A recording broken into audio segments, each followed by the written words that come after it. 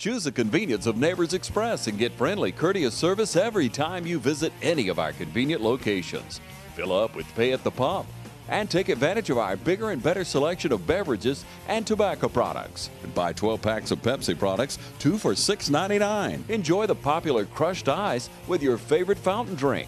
Also, enjoy a fresh, hot breakfast. Stop by for lunch or dinner. It's always fresh, always convenient at Neighbors Express. Now located on Central Drive at East Dublin at I 16 and 441, and in Cedar Grove, providing farm fuel for all our customers. Count on the convenience of Neighbors Express.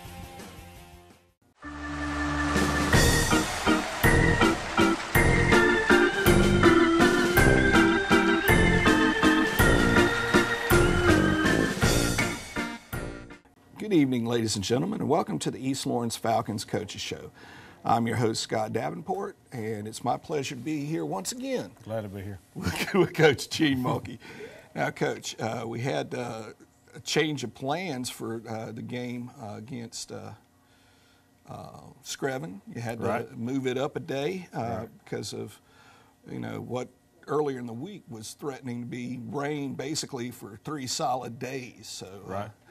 Uh, why, why don't we just go over because it was you know one exciting ball game. Uh, The, um, I think it, and I think um, several people agree on this, but I think that's probably one of the um, most exciting baseball games that that we've had this year. Um, it's one of the most exciting baseball games that I think I've been a part of in a while. Um, it just, you know, we moved it up a day. It was supposed to rain today, and you know, anytime you go to doing that, you hope it, you know, you hope it works out. I mean, you kids plan to play on a certain day, and then you move it. You never know how they're going to react. Um, and we had the county track meet going on yesterday at, at the complex also, so you know there was a there was a lot going on, and you're always concerned about you know moving it to a day like that because you don't know how the kids are going to be, how they're going to be focused, what they're going to be paying attention to, or whatever. But but they um, we moved it, and they did an exceptional job. Um, we uh, we had a we had a big day, and a, a really big win for, for our program, and a really big win for our for our kids yesterday. It was just a just a great day. well, why don't we just go through some of the things? I know just as a you know very interested bystander. Right. Uh, one of the things that really impressed me was just the speed of the game and how well it was played uh, by both teams. Yeah, Uh, it, it was a well played game. You know, we kind of we um we started off. Uh, we had an error in the first inning, and a um, you know a guy reached in the first inning. We had a we had an error at third base, but you know errors happen. People make them, and that, that's just that's part of the game. And and um, then we, we had an error at second base. We had an error at third base the second inning, but um, and that was Bryson Edge over there. But um, he had a couple of boo boos over there to begin with, but from from that Come point on, to the end of the game, they uh, they worked on him pretty hard over there, and I think Yeah. he he had four or five putouts that he you know Mm-hmm. he did a, a really good job on, and and um, you know we, we pretty well played airless the you know the re- the rest of the game. Um, I thought a great play also made by uh, uh, Colby Owens at, Right. at short, where uh, you know he, he had to go a long way, was laid out, and there was no way possible he had the time to make the play, Right. trying to get to his feet, so threw Right. it that was from a, his backside. that that was a big play, um, you know, and it, it it it helped out tremendously, and you know defensively we you know we played pretty good. Um, freshman behind the plate still. Um, he threw a, he threw another runner out yesterday, and that was big. And you know all across the um, the field, you know we pl- we played pretty solid on the defense, and um, you know made some big plays like a lot a lot of plays at third, the play at short with Colby um, you know, had various plays throughout the infield that, that we did a that we did a good job on. Um, the the run that they scored on, the guy reached on an error, and he scored in a. We had we had the guy in a rundown between third base and home, and um, I wasn't real sure that the correct call was made, but that's you know that's that's baseball. Yeah. But um, you know, we had a we had an interference call on a rundown on our part, which allowed that run to score. And um, but you know, we just we were never we were never out of the game Yeah. um, from from the first pitch to the to the last base hit. Um, our kids were they were in the game. They were focused. They were paying attention to what's going on. Um, you know, they hustled. Their attitudes were good, um, and you know that's uh, that's a big part of winning baseball games is is staying focused and keeping a positive attitude. And the big thing that I talked to the kids about before this game was is we played a game Monday at Wheeler. We actually got beat seven to two, but the guys had a lot of fun. And you know at, at, at no time were we ever out of that game. You know we stayed focused we kept working. We mm-hmm. just we didn't take care of business at the plate. And i told them before the game yesterday if we can go out tonight and have the fun playing baseball that we had against wheeler and just hit the baseball and play defense i said we'll we'll win the baseball game and you know it was a it was a battle. It was a battle the whole game. We had a couple of base running um, mistakes that I was really afraid was going to really going to cost us. Um, but they, you know, we stayed in the game. They kept battling and and um, ended up ended up having a really really big seventh inning to win the ball game.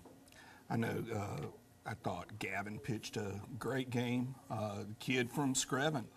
I mean, he was he was in the whole whole time. I, Right. I thought they both, you know, pretty evenly matched as far as, you know, pitching was concerned. It was one of those things where, you know, when it came down to that final, you know, like you mentioned, really big seventh inning where things Right. sort of fell into place and kids Right. produced. The you know, um, the pitching was the pitching was great on both sides. Um, I really like the guy that they threw. Um, I don't like him as good as the guy that we threw. through, yeah. Um, but you know, Gavin's a sophomore, and um, he just he had it, yeah. and uh, he did a great job. Um, you know, his pitch count was not high. He, he threw the entire game, and he just. I told him after the game, I said, "You probably just threw the best game of your life," and, and his response is, "I'm ready to throw another one." I said, "Well, good, because you get Dublin next week." So you know, um, he was kind of jacked. Um, the team was jacked, and you know, anytime that you get that kind of pitching performance, you know, you hope that on the offensive side of the ball that kids are going to take care of business because he's doing his part. Right. And um, and you know, we we ended up doing that in the seventh inning. Well, we're going to come back and talk about that seventh inning right. after our, our first break. And, folks, the people that make this show possible are the ones that you're about to see uh, the commercials for. And we'd like to ask that you please honor them with your business. Hi, I'm Brian Millette with Game On Training. Now, thanks to Game On Training in Dublin, you can train at a first rate facility. With over 16,000 square feet of training space, Game On features the right equipment and a knowledgeable staff giving serious athletes and recreational players everything they need to take their game to the next level. Game On offers individual and team packages. Monthly memberships are available and one on one lessons for ages 7 and up. Game On members have access to train 24 7, so don't miss out. Call or come by for the latest information and schedules, and remember, It's your game on and game on! Game On also offers CrossFit DGA with owner Eric Bland. Get the best workout you've ever had with Eric and his staff. Join Game On's training today for excellent core strength and conditioning. And get your game on. And we're back with the Coaches Show. Now, when we left you, we were just about to start talking about the seventh inning, and it was one of those things where, uh, you know, coming into that seventh inning, you know, evenly matched. We had, you know, Screven County up by one. Uh, we get them out uh, with, uh, you know, thankfully them not getting an insurance run Right. or two. And uh, so, why don't you describe the attitude of the guys going up to the, The, the um, plate in the seventh inning? We, uh, you know, like I said a while ago, I mean, we, we had hit the ball a little bit Um, you know, all throughout the game, we had we had a couple of real hard hit balls that went directly at people that that uh, has seemed to been the case all year for us in times. But um, you know, going into the seventh inning, seventh inning, we were um, just really focused. You know, the kids were. You know, I, I told them when we, when they come off the field and we meet, you know, um, it's no secret what I tell them. I tell them that little round thing. We got to hit it where they're not standing. um, Yeah. And you know, it's kind of we did we did something in the seventh inning that that um, we haven't done all year long. Um, we had four hits back to back in the in the seventh inning. Um, Austin, I think Austin Scott led off, and he hit a really hard ground ball up the middle, um, which uh, actually hit the pitcher. Um, and then we had uh, we had a a run of young guys to come to the plate. Um, Seth Newsom had a hit during that inning. Kyler Morris had a hit during that inning. Um, Gavin Donaldson had a hit during that inning. Um, all sophomores that they all stepped up to the plate. They all got a hit. Um, uh, Gavin Donaldson had a had a hit to tie it up. I think that is correct. Um, and then we end up with Kyler Morris on on third base and with a senior at the plate. And you know, through back and forth, you know, trying to decide what to do, I was in a situation to where, you know, we had one out. Am I going to squeeze or am I going to hit it? Um, Which Connor at the plate, he's a good bunter, and you know he he can get a bunt down pretty much whenever we need it. And then I get to thinking, well, you know, we're we're sitting here in a situation where we got one out, and I got a senior at the plate that has a very good on base percentage. He probably leads the league in getting hit by I, I pitches. was fixing to say he will. he Um, will. He's but, not afraid you to get hit he, by a pitch. He, he really, really battles at the plate, and and at this point in time, right now, if there's one person I could pick to have at the plate Mm-hmm. in that situation, it would be Connor. So I just told him, I said, you know, we talked about bunting, we talked about squeezing, and I just finally told him, I said, all right, you're a senior. You got a chance to win it right now. I said, go up there and hit it. So, Mm-hmm. you know, he goes to the plate. Um, he gets the opposite field base hit, and uh, just a just a great, you know, just a great inning. Um, we got in a right there, close, right there in the seventh inning. We had runners on uh, second and third, and they walked our number nine batters, Cam Oliver, and they walked Cam to, to load the bases to put a double play in order. Right. And you know, when they walked him, um, you know, on one side, I'm like, oh Lord, now they can turn a double play. You know, and then on the other side, I was like, great, now we're loaded and we got the leadoff batter. you Right. know, so and uh, you, you know, know, one, so of, we- one of the things you know a lot a lot of us talk you know talked about this earlier. You know, the folks that were there, how yeah, you sit there and think about that double play, but also that takes away that cushion from that pitcher Right. too. And all of a sudden, now if I make a mistake, if there's a pass ball, someone scores. Right. Instead of okay, if I hit a guy, all right, it, it's not that big. and that, that's what that's when Gavin gets the hit to tie it up. right. And, uh, you, you could know- tell the, the guys were really jacked up after Oh yeah, that too. they were they were really excited. I think you know, everyone, because you know there was time called. I think everyone Oh, yeah. came out and, and congratulated it him was for that. it was uh, very exciting, you know, and and, and Connor, um, you know, he He came wor- through, He, he yeah. works hard, and you know, Yeah.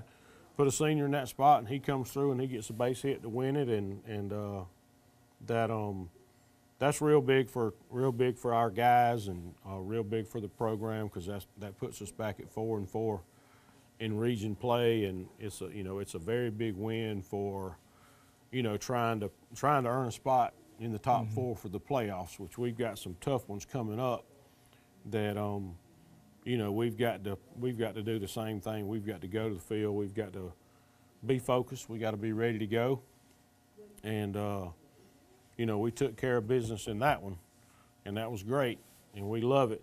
But you know, we got to go back to the field today, go back to practice, and get ready for Swainsboro on Tuesday because, you know, we got two region games next week, and it would be, you know, And well, Every- we can get in, into more Oh, of that okay. at, at, after the uh, after the break here in just a minute. But uh, you know, like you said, though, big seventh inning, and it's it's one of those things where it's a lot better when you come out on the good end of something That like that, true. as opposed to the the other the other That end of true. it. Because I imagine that that kind of makes for a long ride of second guessing, you know, when True. when that happens. That's right. And I don't think anyone's probably tougher on themselves than a coach, you know, after you know something happens where it was that close. Well, if you make the right decision, You're a hero. great. You make the wrong decision, Yep. Not so good. Yep. All right. Well, folks, we're up against another break. We'd like to ask that you please honor these sponsors and make this show possible. And on the eighth day, God looked down on his planned paradise and said, I need a caretaker. So God made a farmer.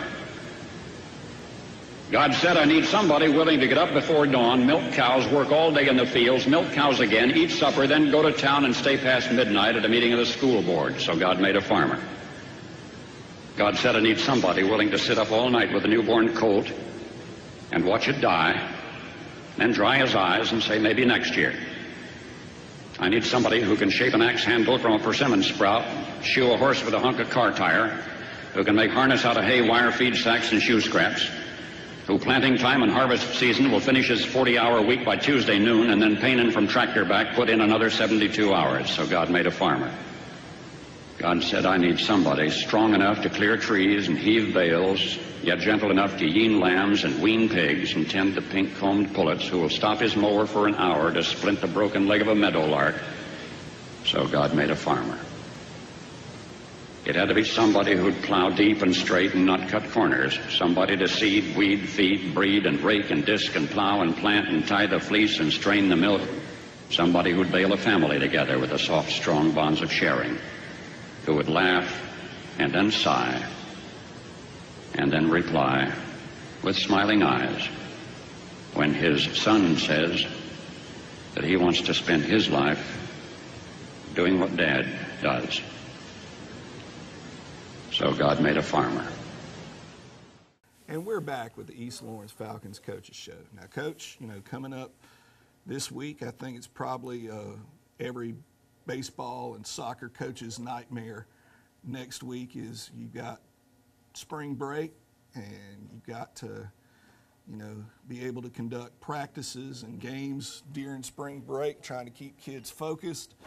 And uh, why don't you go in a little bit about what's coming up uh, for you next week? All right. Um, next week, like Mr. Davenport said, we're on spring break. Um, we have two two really big games next week. Um, both of those will be at home here at East Laurens. Both of those games will take place at 5:30. Um, next week's kind of it's kind of a tough week. Um, you know, to have big baseball games during spring break and, you know, when we schedule games and we meet for the region and everything, we try to, with the date that we can start and the date that we have to be through playing baseball, we, you know, we've tried to figure out how not to have to have big games on spring break, but that's, um, we've always played on spring break. Um, When I was in college, we played baseball on spring break. But, um, you know, it's a, it's definitely a challenge um, to try to, you know, keep them focused because they're they're thinking about going and doing things, and, and, and that's that's normal. But we got um, we got two big ones that we've got to work real hard at staying focused on. Um, Tuesday we play Swainsboro here at 5:30. Uh, we beat Swainsboro there um, on the road at the beginning of the year, and um, I'm I'm pretty sure we're going to see their number one uh, this round, um, which is the Wiley kid, which is which is a really good pitcher. Um, but you know, our job is is to do what we do, take care of business, and you know, stay in the game like we did against Screven, and, and see what happens. And the second game of next week is is the Dublin game, which is also here. It is normally scheduled on the schedule. It's scheduled for Friday, but we've moved that game up to Wednesday. So we'll we'll practice today, tomorrow. We'll hit Sunday. We'll practice Monday. Um, we'll play Tuesday. We'll play Wednesday. So um, there'll be any practice time in between those two region games, which I really like to have practice in between two big games, but we're going to play them back to back and and um, see what happens. And you know, which we don't really concern ourselves with the Dublin game yet. We got to you know focus on Swainsboro first. Yeah. um, and you know it would be another big win. Uh, both us and Swainsboro need wins right now, and um, you know they'll be coming in here trying to do everything they can to get a region win, and, and we'll be defending our turf, trying to get another region win. You know to help us out in the in a spot for the playoffs. Now, after uh, spring break, uh, we, we come back, you know, hopefully, you know, as teachers, we come back a little bit refreshed. Yeah. But uh, we got, uh, you know, an- another big week coming up right after do. that. We Uh, do. I mean, th- this is one probably, you know, as far as big games go, the next couple of weeks, stacked one right after the Right. other.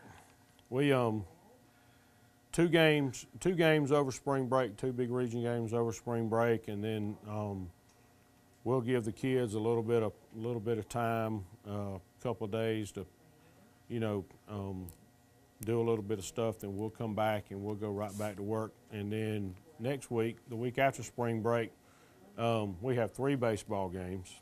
We actually have two big region games, and we have a, a, a game against Treutlen on Tuesday. We play Metter, which that game will be away.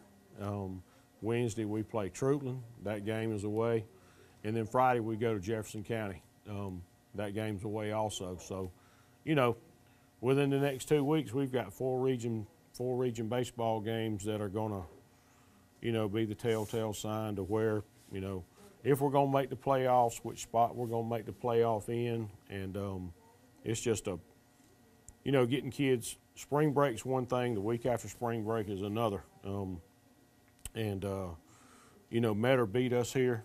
Um, really good baseball team. Uh, they're they're still sitting in number one in the region, and um, you know, anytime there's a team that's sitting number one in the region and hadn't been beat, it's a it's a challenge to, you know, can we be the ones to To knock them to off. knock them off? Yeah. And um, you know, when we played them here, we played them. We were up four to nothing through four innings, and um, then their bats really came alive. And w- defensively, we played real good against them. Um, Didn't have, I think we had one error, but um, they beat us hitting the baseball. So that'll be a that'll be another big challenge the week after spring break. Is is the first game coming back going to Metter. Um, so just a you know another another big week that that you know you have to talk to these kids and, and work with these kids and try to keep them focused on the uh, the task at hand and take one game at a time and see what happens. But I think um, you know I think they're I think they're ready. I think they're ready for the next two weeks, and I hope I'm right. Uh, Yeah. but we'll see. They're um they're fired up right now, and they're fired up right now and ready to go. All right. Well, I know uh, if uh, if last night doesn't get them fired up about the rest of what's coming up, there ain't much that I agree. could could happen because uh, I think you saw a bunch of kids uh, come together uh, a, as a team. I uh, believe so. And uh, it was great to see. Uh, you know, yeah, the win was great, but also seeing how they won. That uh, Right. they did not, at any point during their that game, get down on themselves, No. get down on each other. Uh, they were picking each other up throughout the entire game. Uh, They did that. You know, it's great to see. Yep, sure is. Well, folks, you've got plenty of chances coming up the next couple of weeks to take a look at the East Laurens High School baseball team. Two games tomorrow, uh, tomorrow, excuse me, two games next week, Tuesday and Wednesday, and then they uh, take a road trip. Uh, but at least one of those, those games at Treutlen going to be pretty close, not that far down the road as Soperton. So you'll have plenty of opportunities to catch the East Laurens Falcons in action. Uh, please support these kids. It means a lot to them. And as always, go Falcons.